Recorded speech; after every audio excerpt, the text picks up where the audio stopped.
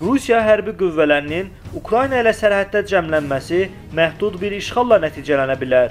Kanal 13 Axaraza istinadən xəbər verir ki, bunu ABŞ Mərkəzi Kəşfiyyat İdarəsinin direktoru William Brace deyib.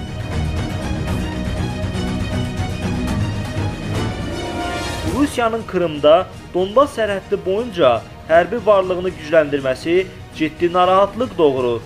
Düşünürəm ki, bu Ukrayna rəhbərliyini qorxutmaq, ABŞ-a siqnal göndərmək metodu da ola bilər. Bu, məhdud hərbi işğal üçün zəmin yarada biləcək nöqtəyə gəlib. Buna nəinki ABŞ, həm də bizim müttəfiqlərimiz ciddi yanaşmalıdır deyə Burns bildirib.